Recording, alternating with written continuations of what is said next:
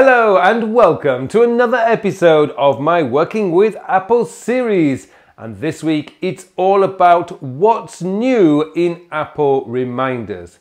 Well, the truth is, not a lot, but there is one significant change that they've made to reminders that actually makes processing or rather prioritizing your day far more effective. Now, before we go any further, I would just like to say if you do get any value from this video, then please help me by clicking on that like button below. And if you haven't subscribed to my channel yet, and you want to get all the latest tips, tricks and news on using Apple's productivity tools, then please subscribe to my channel. Okay, let me take you into my iPad's reminders now and let me show you what's new in iOS 14.5.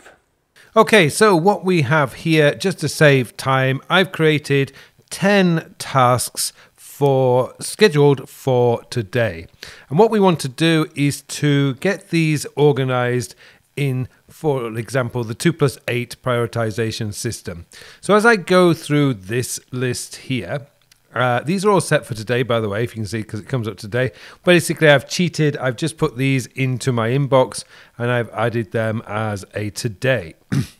So let's go into my today smart filter here, and that gives me my 10 tasks, all scheduled for today. And what I want to do is I want to pick out the things that I need to do as my two objectives for the day. So I'm going to go in here, exercise is an objective. So I'm going to add a priority, not a flag, a priority here, and that's going to be my 2 plus 8, number one and then I can click done and I'm going to go into my record YouTube videos because that's very important. So again, I'm going to hit the, the, the, the information, click on priority, and I'm going to make that high. And there we go. That's done. So that is my two objectives for the day done. Now, what tasks do I want to do in the morning? Well, I need to get my expenses completed early so I can get them submitted. So that's going to be a morning task. Again, I'm going to go drop down to my priority and I'm going to make that medium. Now, the way I look at me, these priorities is that medium means morning and low means afternoon. non means if I get time to do it. High are my two objectives. So that one's done. I'm going to go into, let's have a look, go down here, get food for this weekend barbecue. That can be tonight.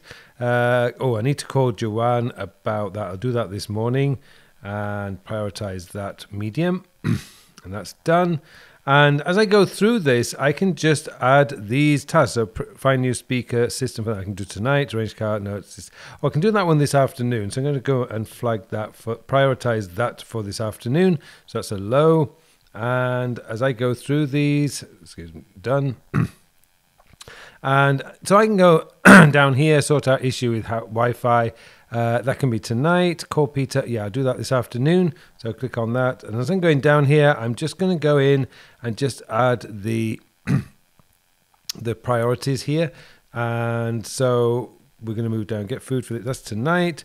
Uh, we can do that tonight. Uh, oh yeah, I must do that before I finish work today. So I'll do that this afternoon. Let's go into my priori- my priorities here and do that as a low and save. And I think that's it. So let's say now that I've got these arranged by priority. Now, what I can do now is I can go into the three dots up at the top in my today. So we're looking at the today view right here.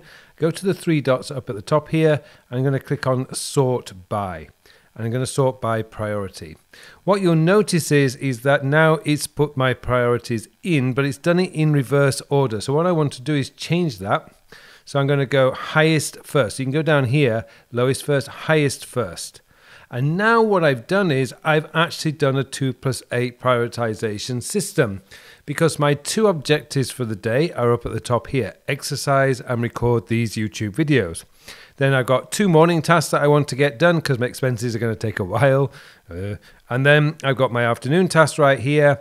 And then I've got things that I can do this evening. So that's all sorted out. And essentially, that's what you have right there. So there you go. That's all you really need to do in order to start organizing your list. Now, you can do this, by the way. This is a filter. You can actually do this in a filter. You can, of course, do that from your inbox. You can do it from your this week. You can do it from whichever folder you want to do. This is all permanently um, available for you to do it. And also, if I click on today, that's a filter this week. Uh, you you can also change the name and appearance by just doing the slide. So there you go. That's really all you need to know about the latest features in in reminders. Now we can actually set up the 2 plus 8. We can do the planning at the end of the day. You don't have to uh, organize things as you're adding tasks. You can actually add priorities. That's really going to help us. So there you go. That's what's new in 14.5.